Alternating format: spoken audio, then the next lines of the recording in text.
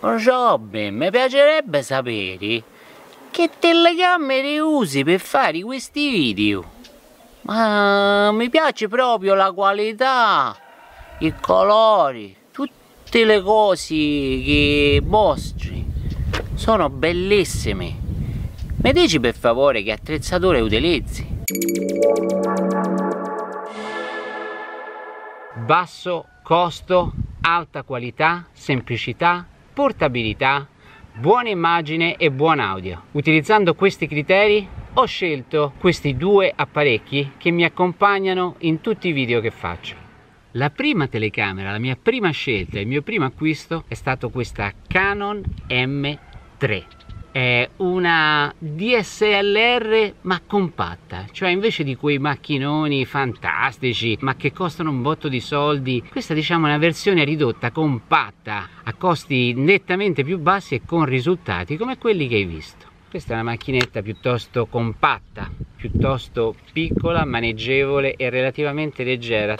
Perché hai scelto proprio questa? La prima caratteristica vincente di questa telecamera è che è in grado di montare qualsiasi obiettivo Canon professionale utilizzando un adattatore dedicato che devi acquistare.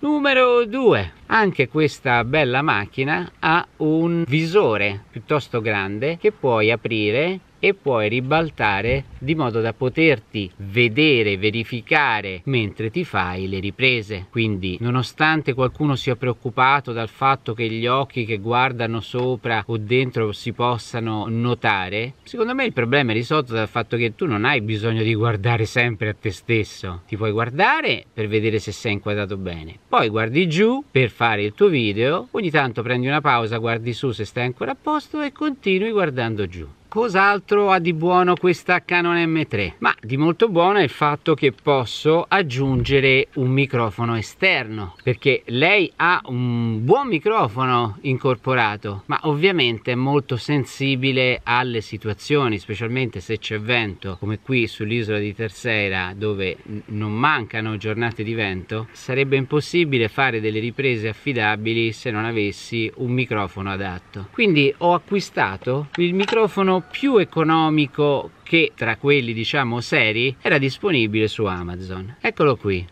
È un microfono Rode fatto in Australia Videomic. Costa 50-60 euro non molto Questo, questa peluche questa protezione che serve proprio per il vento è un extra che ho acquistato separatamente perché lui viene con una protezione normale da microfono come ti aspetti normalmente di vedere il problema è che acquistando questo microfono e volendolo inserire sopra dove c'è lo spazio hot shoe per attaccare flash, accessori e altre cose, nel momento che tu metti il microfono qua, lo schermino non lo apri più. Per questo motivo ho cercato su Amazon un braccetto estensore come questo qui che ho trovato che consente proprio di agganciare questo braccetto estensore sopra il quale si può andare ad applicare il microfono.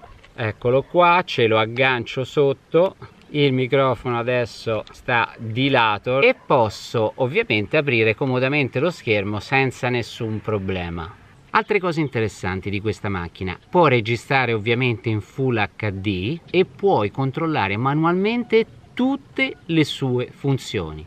Robin, che accessorio utilizzi?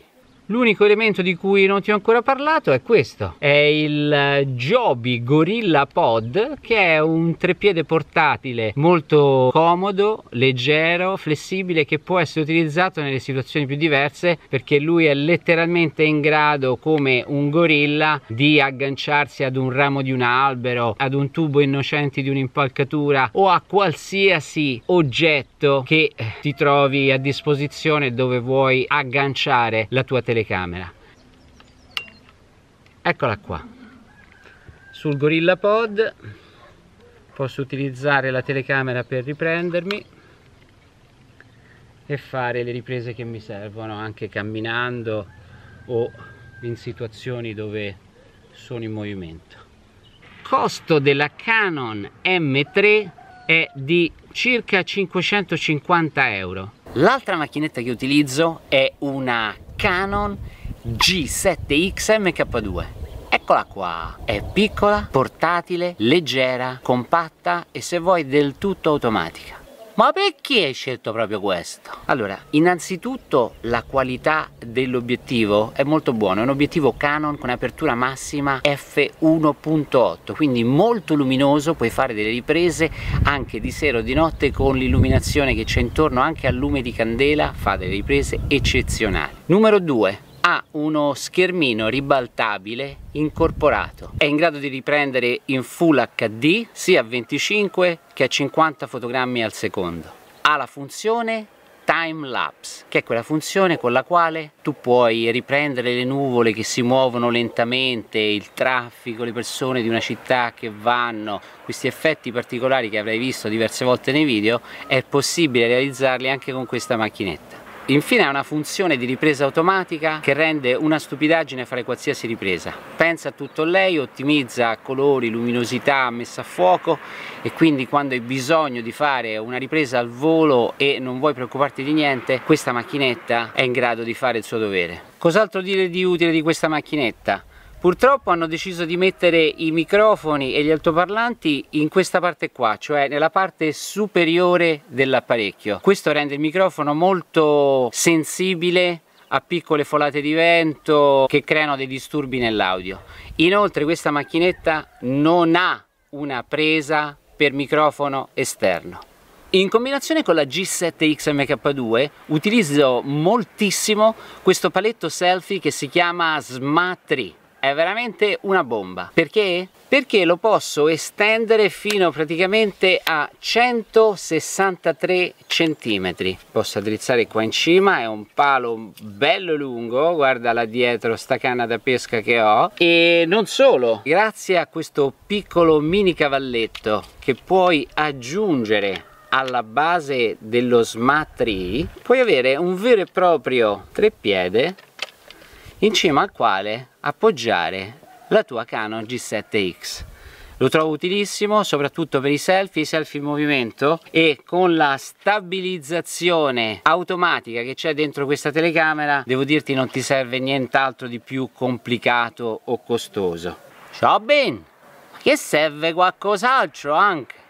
Ovviamente Così come per tutte le telecamere che acquisterai è indispensabile avere una batteria di emergenza in tutte le situazioni per cui io ne porto una carica sempre in tasca. Eccola qua. Costo della Canon G7X circa 600 euro.